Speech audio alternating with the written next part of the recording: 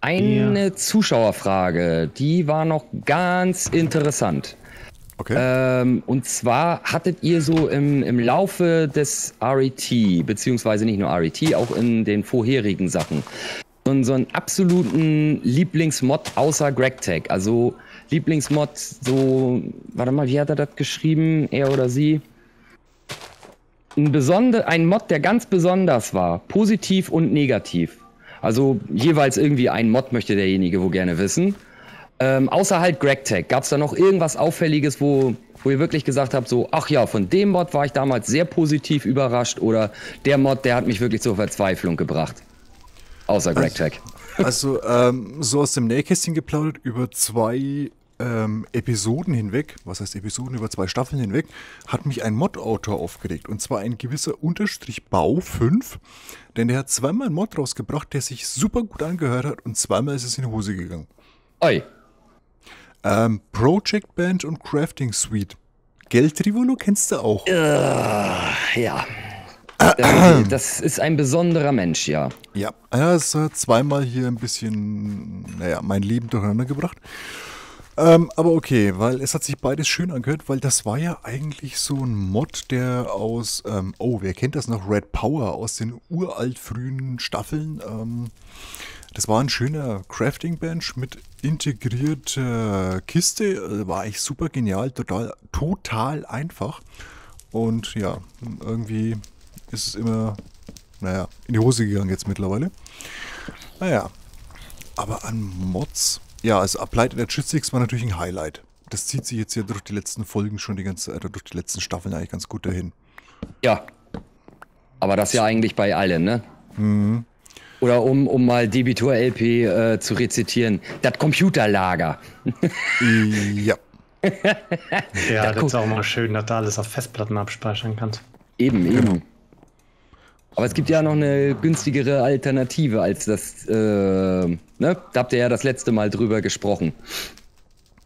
Ähm, ihr habt ja beim letzten Mal dieses ein, äh, ein Festplattensystem verwendet, wenn ich mich recht erinnere. Ja, das ist sehr äh, aufwendig. Genau. Und kostenintensiv. Und diesmal wollt ihr das Jahr ein bisschen anders gestalten. Kann man da schon was erzählen? Mm, ja, und zwar ähm, vom Materialaufwand her dürfte es in etwa annähernd gleich sein, aber wir hatten uns diesmal gedacht, wir werden das Material in Barrels speichern. Hat ein bisschen den Vorteil, dass man auch gleich sieht, was man da hat. Genau. Es, es sieht einfach schön aus. Man braucht ein bisschen Platz, aber naja, mein Gott, Platz. Ha? Wir haben ja schon ein Lagerhaus. Genau. Platz haben wir. Platz ist in der kleinsten Bude, hör mal. Mhm. Hast du irgendwo was mit Sandstone gebaut? Sandstone? Ja, hinter dir an der Mühle ein bisschen was dran. Muss mal gucken, ob sich das als Dach eignet. Äh, die Mühle, die Mühle selber, die hat ein Sandstone-Dach. Ah, falsch hier. Das ist halt mit Half Steps und so weiter. Da müsste ich eigentlich auch so oder so mal los, denn mir ist der Sandstone, dem die das Sandstone-Gedönse beim letzten Mal ausgegangen. Da ist nicht mehr viel da, aber ich weiß, wo es noch jede Menge zu holen gibt. So ist es ja nicht. Brauchst noch eine Wüste. Genau. Hier, um mal auf Mods zurückzukommen. Ja. Stormcraft hat mir immer sehr gut gefallen. Auch wenn das nicht so richtig gut ein Video zu gebrauchen ist. Ja. Ich meine, dir gefällt es ja nicht so richtig mit dem Nee, also mir hat es früher, früher sehr gut gefallen, möchte ich dazu sagen. Also die alte Version oder die alten Version, die haben mir immer sehr viel Spaß gemacht. Das Taint mhm. selber, das, das ist nur so ein, so ein kleiner Tropfen auf dem Stein. Ähm, das, das Gesamtkonzept, wo sich der Mod hin entwickelt hat, der sagt mir nicht mehr so ganz zu. Ah, doch, diese Minispielchen, die, die, die mag ich. Ja, genau, das ist das, das. Das ist nicht so mein Ding, so eine Minispiele. Die haben mich doch sehr aufgeregt. Weil ich meine, wenn ich so dran denke, von den alten Soundcraft-Versionen, da habe ich ja noch äh, viele, viele der alten Rezepte, die habe ich ja so noch im Kopf, wie man, also wenn ich davor sitze natürlich, kann jetzt nicht so auf blauen Dunst sagen, hey, wenn du das und das erfinden willst, dann brauchst du das und das und das. Aber ähm, wenn ich davor sitze und ich dann auch dieses Buch in der Hand halte oder in der virtuellen Hand, dann kann ich sofort mir die Materialien zusammenholen und weiß sofort, wie es geht. Weil da, den Mod, den habe ich früher auch geliebt. Oh ja bis ich hey, dann. kleinen Golems, wenn die mal da rumflitzen. Ja, genau.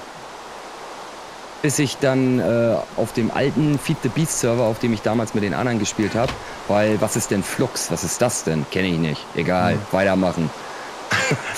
Und auf einmal so, mm, was ist denn jetzt hier los? Ein Einloggen war nicht mehr möglich bei mir im Gebiet. Das, das äh, ging einfach nicht mehr, weil du wurdest sofort zerlegt von diesem ganzen Whist und ach, das Wetter wurde dann andauernd geändert. Da stand dann immer im Chat drin, hier, der Flachs hat das Wetter schon wieder geändert, dann standst du schon wieder im Regen da. Und naja, das ist halt so ein, so ein blöder Nachteil an dem Mod. Sobald du da irgendwie am Arbeiten bist, verändert der Flachs ständig das Wetter. Mhm. Und das ja, scheint das auch hat er ja jetzt im Taint geändert. Ja, genau. Ist halt jetzt die Krinte mit dem Taint. Richtig. Wir können schon mal den Keller ausheben. Keller ausheben, ja, das ist, das ist doch mein Job. Ma, mach, genau. du mal, mach du mal Dach. Ich mach hier Keller. Oh, jetzt hätte ich ihn beinahe erschlagen. Ah, das gute Zaumcraft ist schon ein schöner Mod. Auf jeden Fall. Ja, wir können jetzt auch das stinknormale Holz nehmen, Oakwood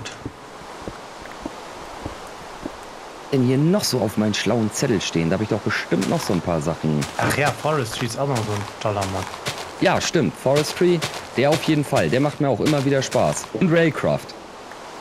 Ja, damit wollen wir uns auch diese Folge, äh, diese Folge, diese Staffel mehr beschäftigen.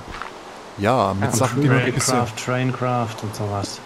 Wir hatten mit Railcraft ja immer wieder mit Boilern und solchen Geschichten gearbeitet, aber ehrlich gesagt nie mit Zügen. Und irgendwie also ich habe ein bisschen durch die Videos zurückgeblättert. Züge waren bei uns noch nie ein Thema irgendwie. Wir hatten nee, mal richtig. kurzes Spotlight hey, über so Traincraft.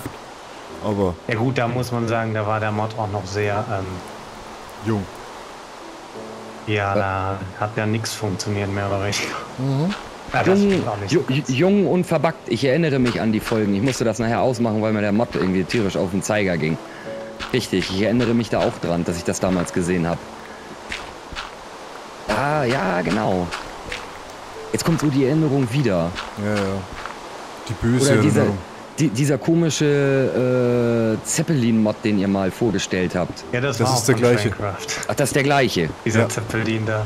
Oh, der fand ich. nicht steuern konnte. Genau, genau. Da, da, hat man auch richtig bei euch so gehört, so, mh, mm, so die naja. Enttäuschung. Mhm. Viel versprochen und dann. Mh. Mm. Ja, ja, wobei, ähm, dieses Mal haben wir ja zusätzlich noch Archimedes-Chips drin. Und da ja. haben wir natürlich auch noch eine Kleinigkeit vor. Also zumindest okay. ich habe da noch was im Kopf. Äh, mal gucken, ob ich das umsetzen kann. Ich denke aber schon.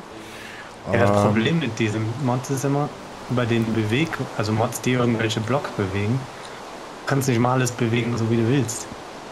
Okay. Das ist manchmal, also der zerstört dann irgendwelche Strukturen oder sowas. Ja. Da hatten wir ja letzte Staffel auch das Ah. Was okay. wir bauen wollten. ja, das hat sich beim gebaut. Abheben. Beim Abheben, Abheben war alles zerlegt. kaputt, weil diese ganzen Blocks gelöscht wurden, weil er die nicht bewegen konnte. Ach du Scheiße. Aber die, das ganze Schiff für den Arsch. Gut, das war jetzt auch nicht so groß, aber. Ja, das ist natürlich ärgerlich. da ist, du kannst halt nicht alle, alle Sachen damit bewegen, wie du willst. Deswegen musst du da immer erstmal testen, was man damit alles bewegen kann. Gut, man ja. muss sagen, Minecraft ist nicht dafür gemacht. Nein, natürlich nicht. Bewegen. Aber das kommt vielleicht ja noch. Also ich kann mir das gut vorstellen, dass du so in drei, vier, fünf Jahren oder so, dass wir da auch mal ordentlich Bewegung reinkriegen. Denn mal ganz ehrlich, die Mods, die nehmen, ja insbesondere die Technikdinger, die übernehmen immer mehr und immer mehr die Oberhand. Und die Leute wollen immer mehr nur noch mit den, das gemoddete Minecraft spielen. Also ich kann mir gut vorstellen, in ein paar Jahren, ja, dass so der ein oder andere Mod äh, vielleicht ins Standard Minecraft mit einfließen könnte. Ist er doch schon. Denk doch ja, mal sicher. zum Beispiel Damals. an die Pferde. Die ja. Pferde kommen aus Dr. Zark Small Creatures. Eindeutig. Genau, genau. Ich meine, die haben ja auch Hopper jetzt eingeführt, ne? Mhm. Ja. Haben noch Buildcraft.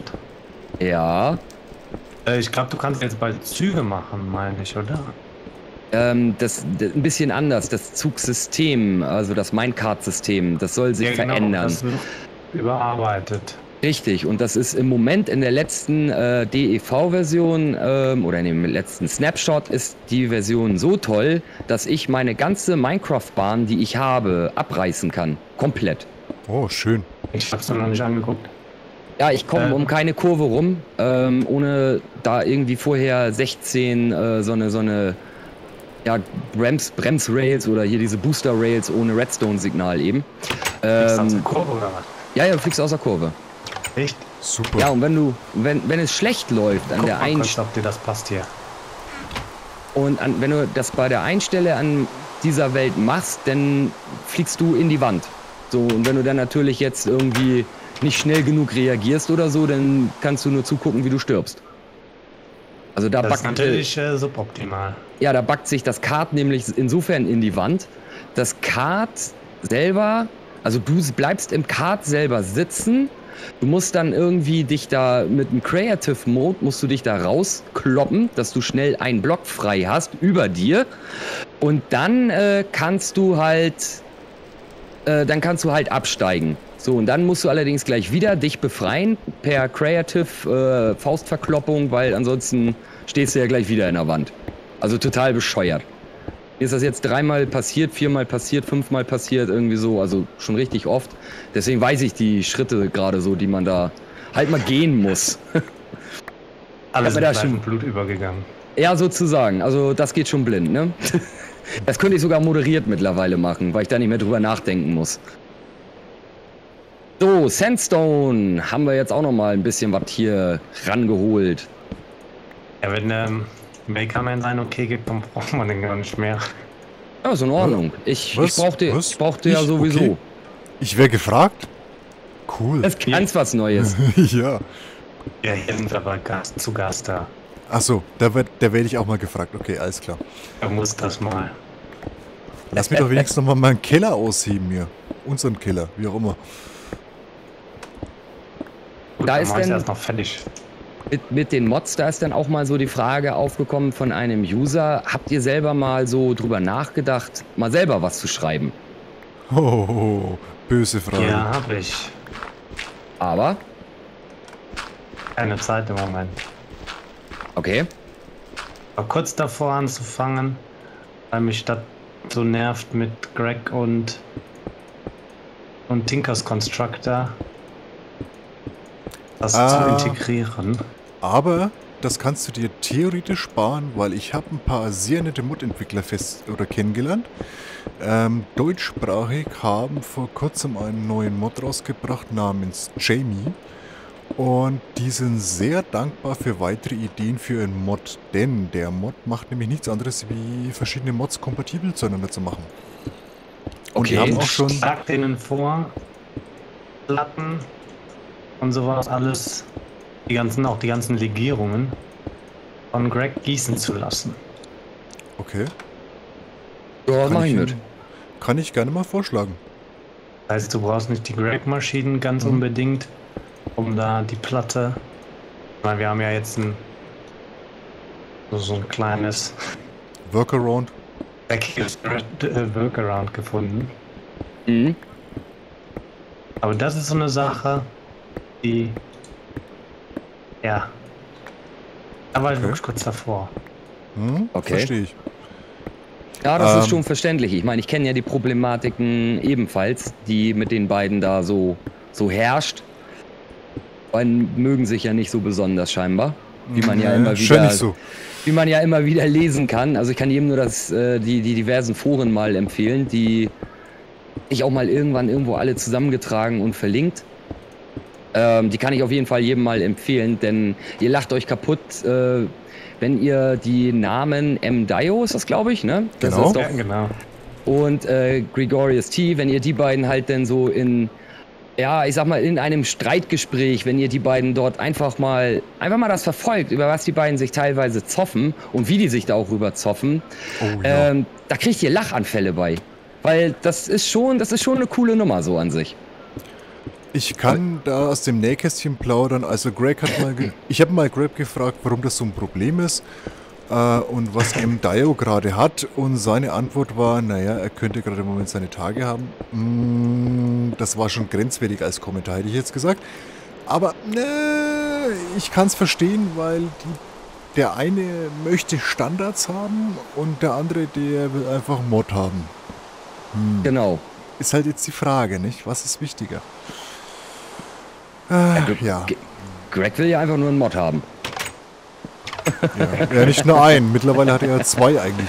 Also, ja, zwei ist übertrieben, aber er hat zwei Stück, in denen er seine Finger im Spiel hat. Ja. Ah, ja, gut, ähm, ist halt so. Jetzt horcht der ein oder andere wahrscheinlich auf. Wie Greg hat in dem zweiten seine Finger mit im Spiel. Ja, Muss hat er. Du auch nochmal erzählen, in welchem? Und zwar, ähm, die Entwickler von Industrial Craft haben sich ähm, Greg ins Boot geholt, sag ich mal, um ihnen ein bisschen zu helfen bei der Entwicklung von dem Mod. Wobei ich nicht so genau weiß, ob sie ihn ins Boot geholt haben oder er ins Boot gekommen ist. Ähm, böse Zungen behaupten, er ist reingesprungen. Ähm, weiß ich nicht. Hm, kann ich nicht so hundertprozentig sagen, kann ich auch nicht dementieren.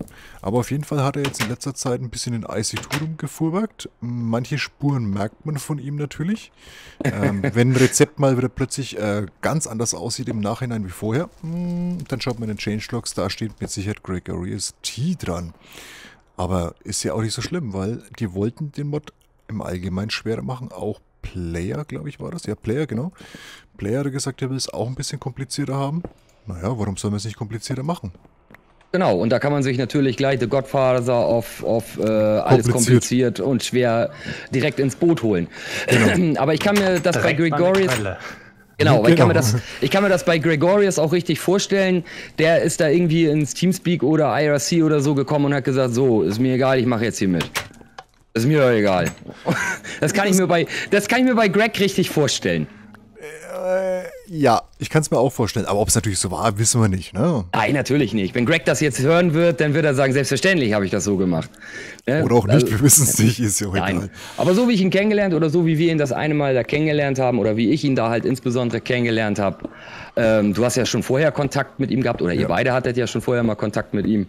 Ich hatte da das erste Mal meinen Kontakt mit ihm. Ich musste nur über seine ganzen Antworten feiern. Also der Typ ist wirklich, der ist die Krönung. Der ist die absolute Krönung. Ich mag ihn. Deswegen mag ich auch seinen Mod. Man kann nur Mods lieben, wo man vielleicht auch die Menschen liebt.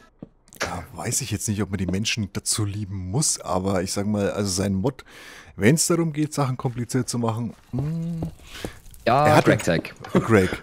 Wobei ich muss sagen, er hat jetzt in so unserem neuen Modpack natürlich auch ein bisschen Konkurrenz bekommen, muss ich jetzt mittlerweile feststellen, weil die ganzen Mods von Raika, ähm, ja. da sind auch ein paar knackige Sachen dabei. Also mh, hm, bin ich hundertprozentig sicher, ob es jetzt immer noch der komplizierteste Mod ist.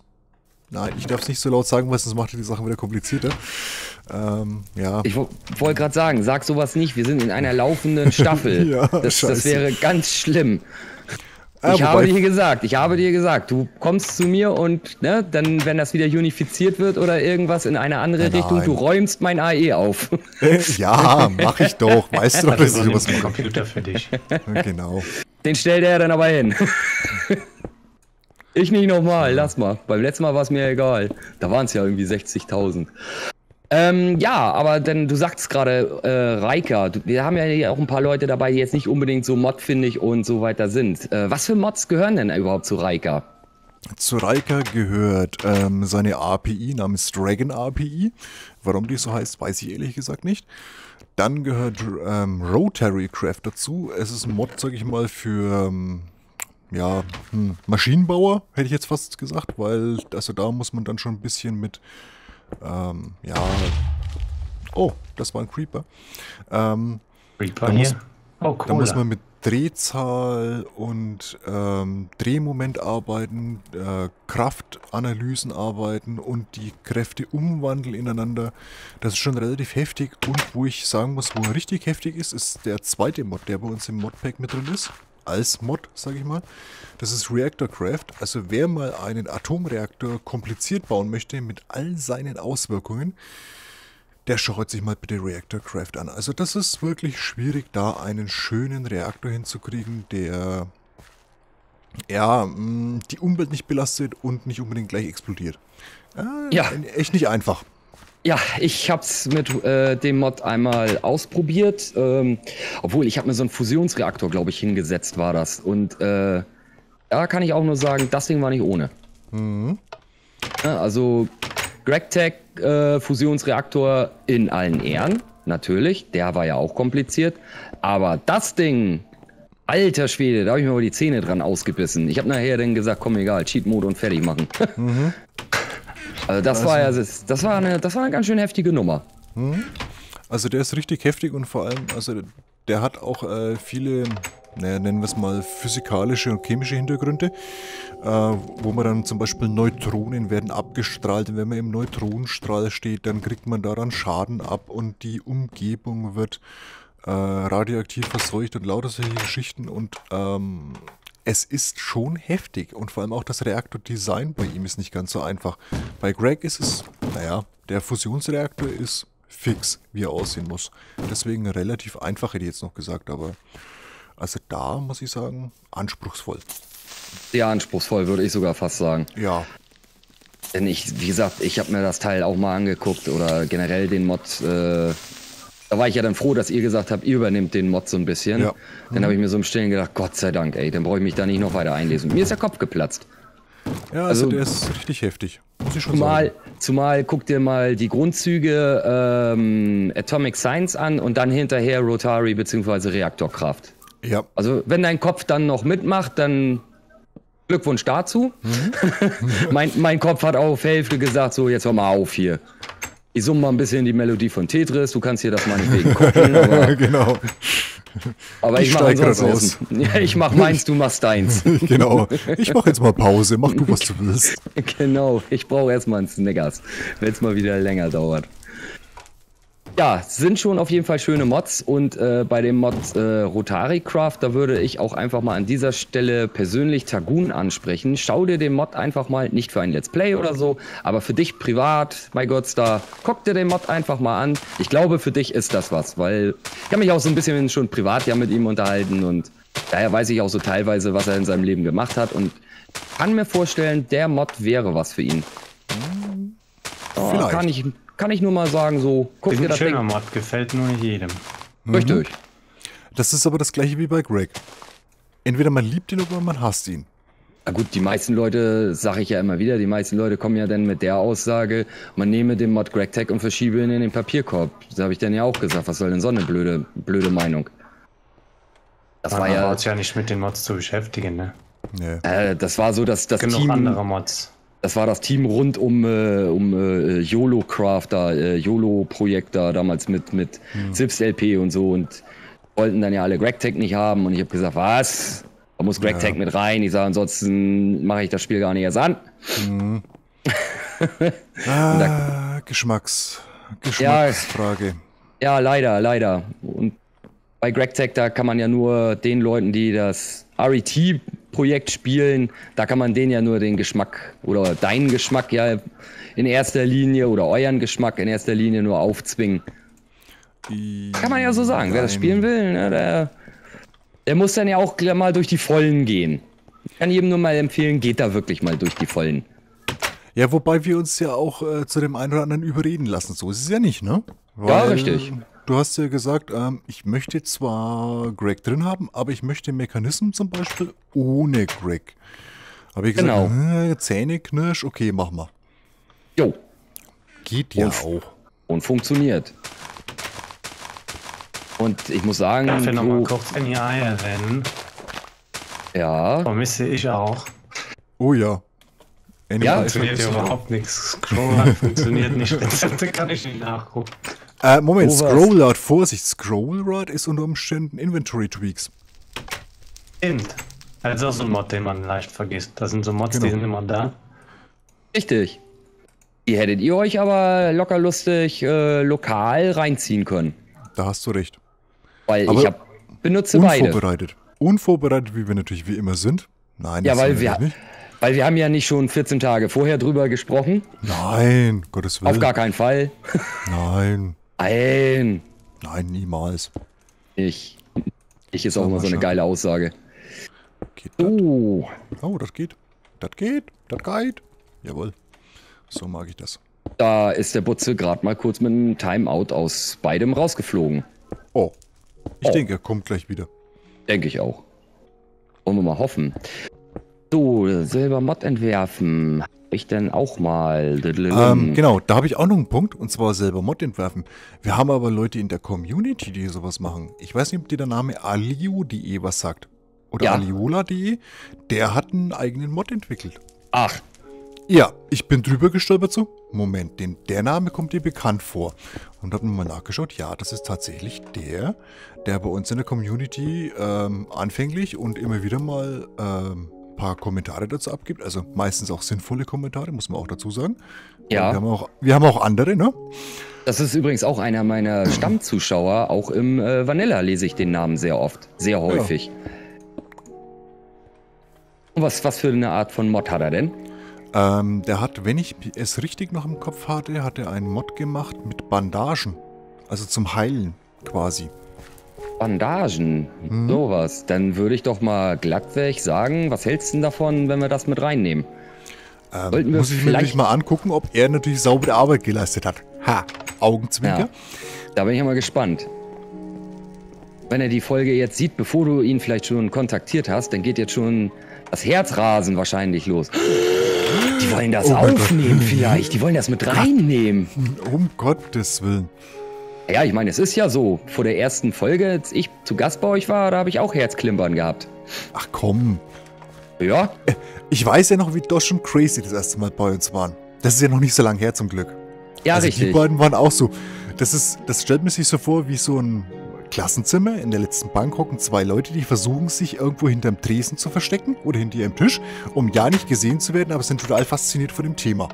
Genau. so das, ähnlich kam mir das vor. Ja, das, das mache ich so mit. Das unterschreibe ich so. Das hast du sehr schön so formuliert, auf jeden Fall. Okay. Mein ja. Internet war gerade weg. Ja, aber es ist ja wieder da. Ja. ja, ja, aber das war keine Ahnung. Da musste der Router einmal ein- und ausgesteckt werden. Ah, das Problem hatte ich auch eine Zeit lang. Dann habe ich den Anbieter gewechselt. Das war damals bei. Bei Alice war das. Alice? Ja, ja damals war es. Also es ist schon sehr lange her. Das ist, boah, weiß ich nicht, zwei, drei, vier Jahre. Fünf Aber Jahre. geile Braut in der Werbung. Das auf jeden Fall. Also, das auf jeden Fall. Hm, muss schon sagen. Ja, auf jeden Fall. auf jeden Fall von der Bettkante stoßen, weil auf dem Boden ist mehr Platz. Hm, ja, ist eine Variante. Und, und, für das, was ich mit der Frau machen würde, natürlich, wenn ich nicht verheiratet wäre, da bräuchte ich viel Platz. Jetzt heißt Weiß es bestimmt. Kinder, ganz jetzt, viele Kinder. Jetzt, jetzt heißt es wieder. Trivolo, du altes Schwein, das kann doch wohl nicht wahr sein. Er nur wieder. aber ich glaube, ich habe dich dazu gebracht. Aber ich glaube, wenn meine Zuschauer nicht ab und zu mal sowas kriegen, ich glaube, dann, dann, dann wird es langweilig. Aber was hat mal einer, einer meiner Zuschauer äh, geschrieben? Ähm, das auch schon sehr lange her.